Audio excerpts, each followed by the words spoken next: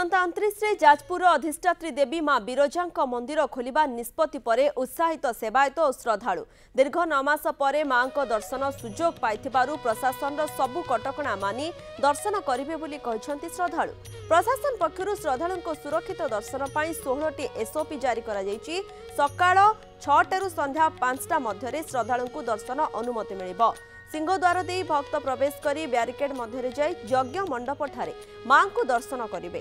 ପରେ ଉତ୍ତର ଦ୍ୱାର ଦେଇ ମନ୍ଦିର ବାହାରକୁ ଯିବାର ବ୍ୟବସ୍ଥା କରାଯାଇଛି।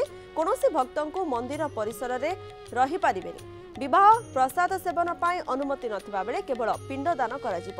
ନୂଆ ବର୍ଷରେ ଅଧିକ ଗହଳି ଏଡ଼ାଇବା ପାଇଁ ଜାନୁଆରୀ ଏକରୁ ତିନି ଯାଏଁ ମନ୍ଦିରରେ ଦର୍ଶନ ବନ୍ଦ ରହିବ ବୋଲି କହିଛନ୍ତି ଜିଲ୍ଲାପାଳ ଚକ୍ରବର୍ତ୍ତୀ ସିଂ ରାଠୋଡ୍। ଆମର ମନ୍ଦିର ଖୋଲୁଛି। ଏମ୍, ଆମର ଯାଜପୁରବାସୀ ବହୁତ ଉତ୍ସାହିତ ଅଛନ୍ତି। କାରଣ ବହୁତ ଦିନ ହେଲାଣି ଆମେ ମାଆଙ୍କୁ ଦର୍ଶନ କରିପାରୁନୁ।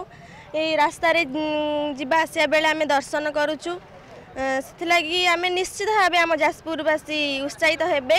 ସେବାଦ ମାନେ ଯାହା କିଛି ରଖିଥିଲେ ଯାହା ହଉ ପ- ପ୍ରଶାସନିକ ତାକୁ କଟକଣା ଭିତରେ ଯାହା କିଛି ଅ- ଅଣତିରିଶ ତାରିଖ ତାଙ୍କର ନିୟମ ରଖିଛନ୍ତି।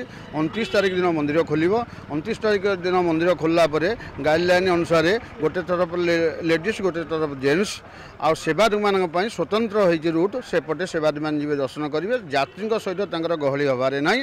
କାଲି ସନ୍ଧ୍ୟାରେ ଆମେ ସମସ୍ତେ ମାଆଙ୍କୁ ଦର୍ଶନ କରୁଥିଲୁ ପ୍ରଶାସନର ଏଇ ବାଣୀ ଶୁଣି ବହୁତ ଖୁସି ହେଲୁ ମନ୍ଦିର ଖୋଲିବ ଆମେ ମାଆଙ୍କୁ ଦ- ପାଖରୁ ଥାଇକି ଦର୍ଶନ କରିବୁ ଏଇ ଯେଉଁ ଦୂରରୁ ଥାଇକି ଯେଉଁ କଷ୍ଟ ଅନୁଭବ କରୁଥିଲୁ ଏବଂ ଅ, ଦୁଃଖ ଦେଉଥିଲା ତେଣୁ ମାଆଙ୍କୁ ଆମେ ନିଶ୍ଚିତ ଭାବରେ ପାଖରୁ ପାଇ ପାଖରୁ ଦର୍ଶନ କରି ବହୁତ ଶାନ୍ତି ଲାଭ କରିବୁ